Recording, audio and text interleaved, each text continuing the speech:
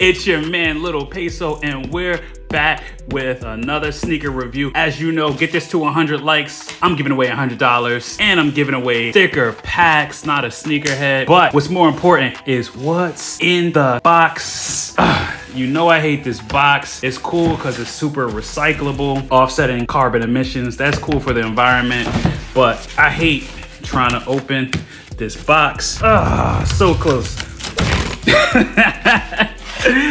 oh, oops, sorry to the camera. What's in the box? Oh man, I've been waiting for these. Oh man. What's in the, oh, I knew what they were, but it's still feels so good to see him for the first time. Jordan 12 playoffs. That's not gonna work. These are too heavy.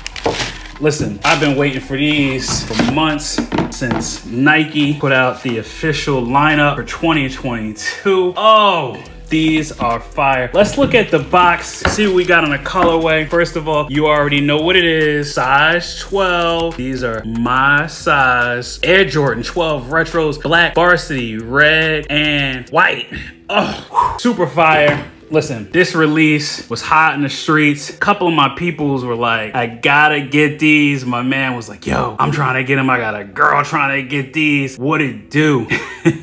Had like three or four people in the group chat trying to cop these. I copped a pair, even got a pair of toddlers. My Nike sneakers account is on fire right now, so I'm getting a lot of W's. What do we have? Listen, Jordan 12s, you already see the color blocking is beautiful. Tumbled black leather, tumbled white leather. We got the gray Jumpman insert here. White, black midsole, white, black, and red outsole. Love this little accent here. Always love that when I see these 12s with the Jumpman right here. And then the back on the heel.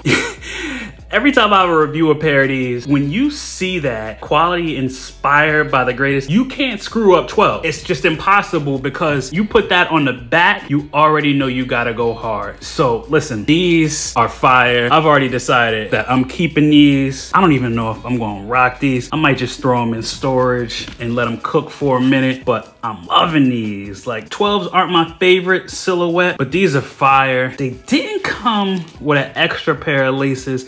I don't remember actually the last time I've seen 12s with extra laces. They need to start doing that. I'd like to see a pair of red laces. I might have to buy a pair of red laces to add to these. But overall, just the colorway by itself is solid. You know how I feel about tumbled leather. These solid, beautiful quality. I think these are definitely a pair you need to pick up. Only thing about these, I'm trying to think how much I paid for these.